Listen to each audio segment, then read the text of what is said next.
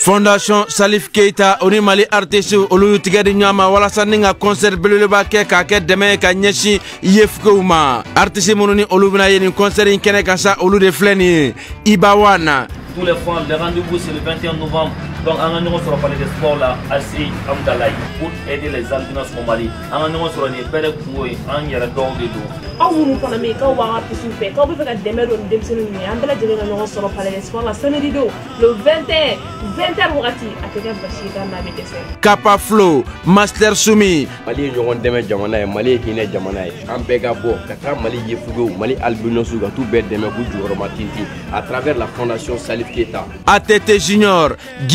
b'a national la ani balanako caaman